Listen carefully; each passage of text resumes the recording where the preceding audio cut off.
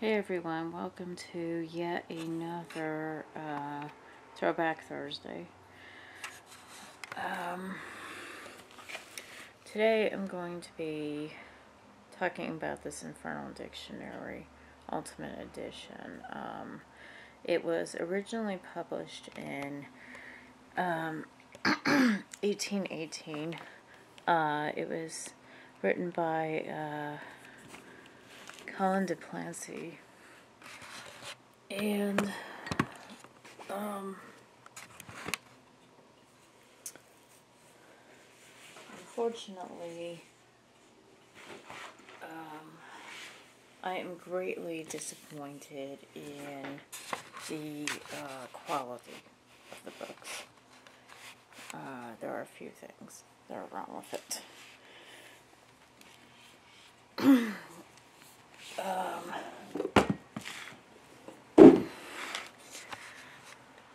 They are beautiful editions, but they are made with very cheap imitation leather, unfortunately.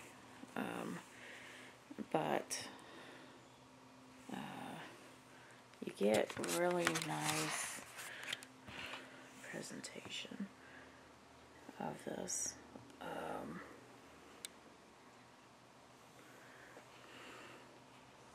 just uh, amazing artwork. Um,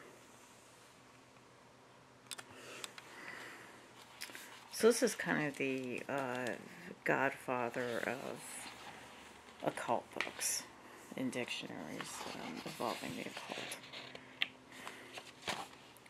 And I want to say that this is probably the first English edition um, Oh, it says it was originally published in 1863. There have been other editions, but this is the most complete one. Some editions just uh, go into the demons and all that. Uh, but they don't go into the other stuff. So this has all the original illustrations.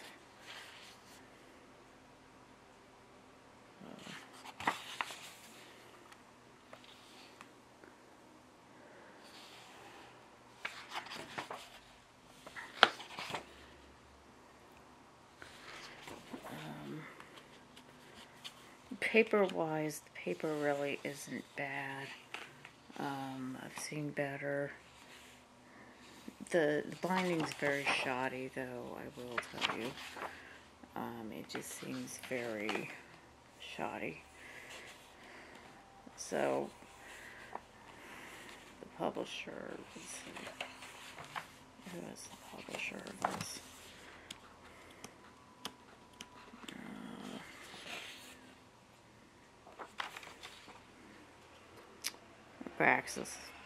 House, it looks like. Um, it's sort of like if you are aware of uh, the Stephen Skinner books, um, the grimoires that he does, uh, those are oftentimes considered very shoddy. Um, so I think they kind of missed the opportunity here on this. Um, but uh, obviously the price really could have come down because of this. Uh, but uh,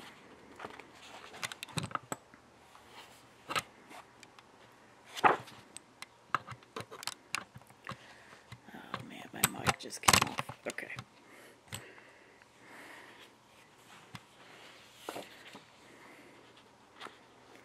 So this has uh, all kinds of things, and it's not just the uh, um, Inferno stuff.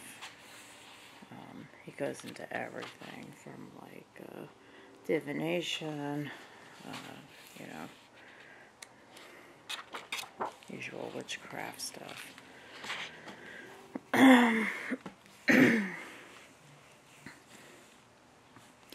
so, uh, you can see here that uh, you're already starting to get uh,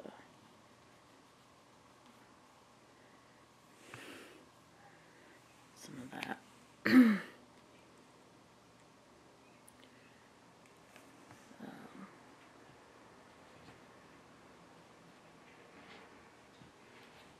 I mean, you could see just kind of the shoddiness going on here. Um, the corner and all that. So, very, very poor binding. Um, to be honest with you, I think um, I'm probably going to have to rebind this eventually. Um, what they should have done was just release it in real leather. Now, as you know, I'm not a big fan of real leather, but um, if you're going to charge a hundred and something dollars, you might want to make sure that you're using top quality. Um,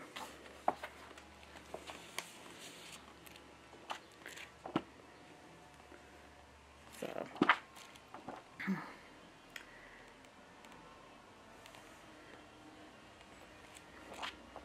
Of course, you can get these illustrations in other.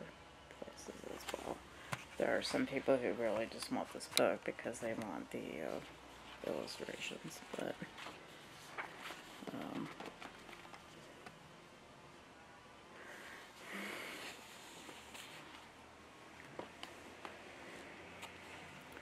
it's got things in here about like torture, uh, um, table tapping, uh, you know, all kinds of uh, things that are associated with uh, magic and all sorcerers, and famous magicians and stuff. And then to add to it, now this is where it does get pretty good. Um, here are some new illustrations uh, that were added. So the color plates are a nice addition to this book. They really are.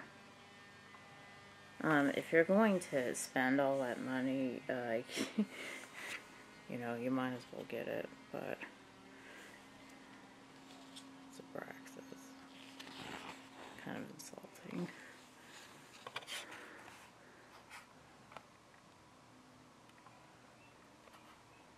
That's wrong the leg. Guards.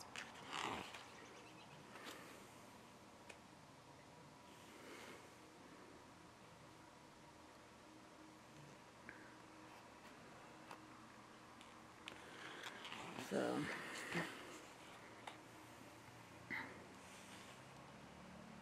Let me do see this. Yep.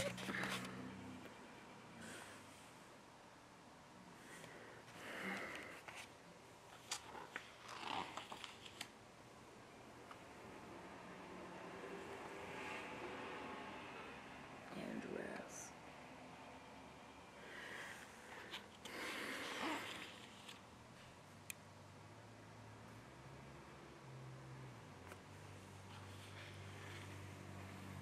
Astro which is really just Astro Ball. Of course, the influence of the Canaanite.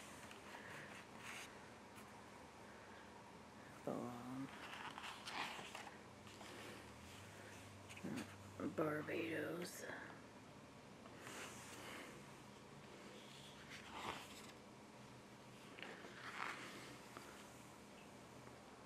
Bulls of Bub. I'm not crazy about this. It looks like something in Doom. you know, if you're into uh, the video game Doom. Um, more than how I would depict him.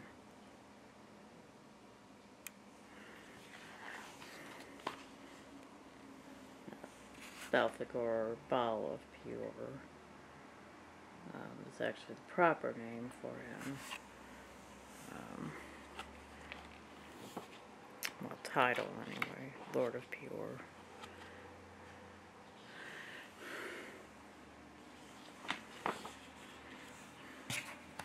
Pure.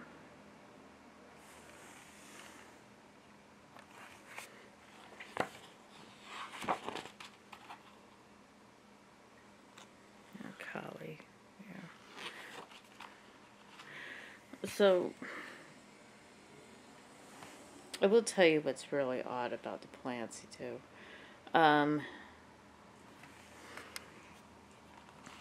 a lot of people say that when he first, the first edition of this came out, um, it was more from an objective point of view, not really from a Christian point of view. Uh, sometime before he released the second edition, he really became a hardcore Christian. So he started taking deities uh, such as Kali, and turning them into demons and uh,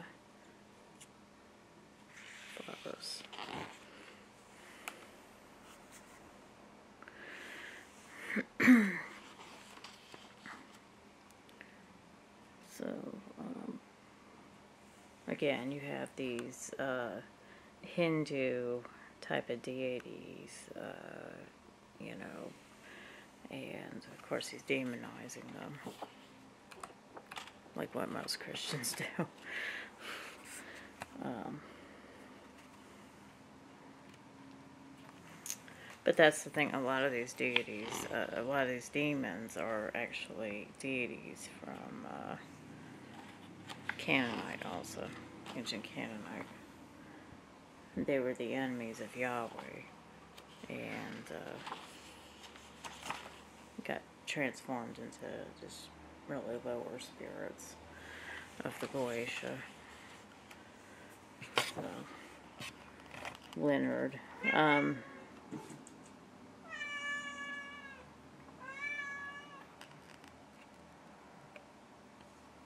what's going on, Jerry?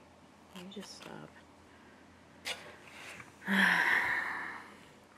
Those of you who have been following uh, my black goat ritual will know that I uh, actually did some work with Leonard recently. Um, Lucifer. Which is a typical uh, Christianization depiction of him. Um,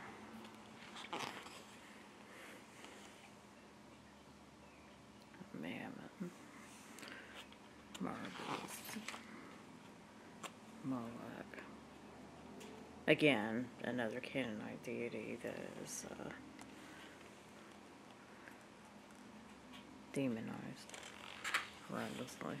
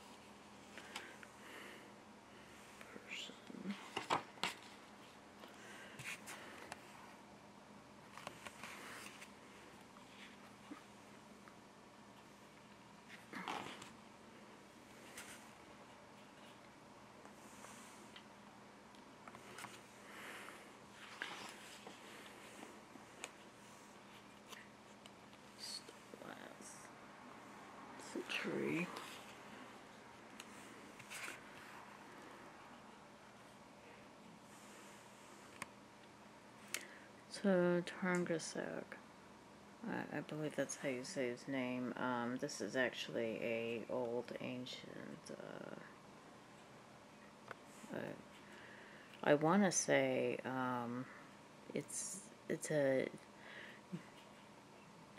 I, I don't want to use the term Indian, but it's it's some type of uh, native deity or something. It's I don't believe it's Native American, um, but it is some type of Native Indian deity. Um, once again, uh, another deity that's demonized. Um, There's the lack.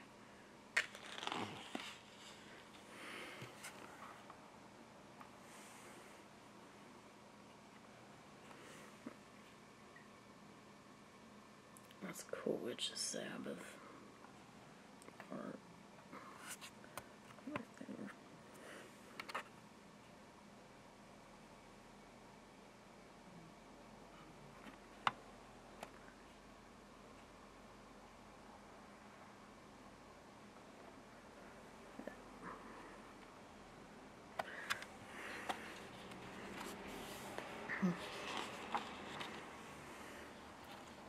Zephon.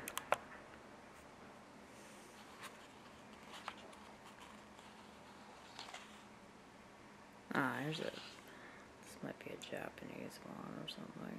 Yeton. This sounds like a very Asian one.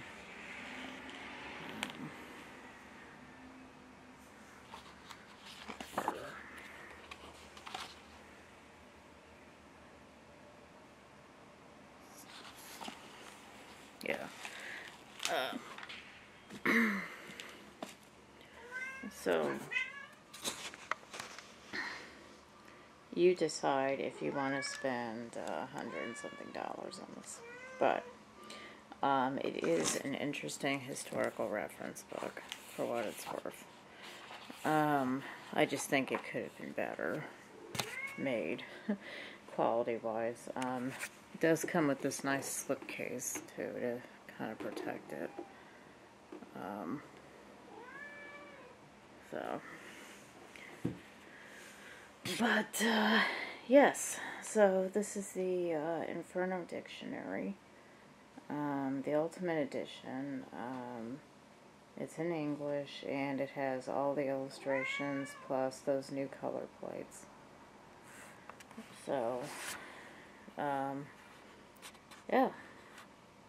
Like and subscribe. Thank you.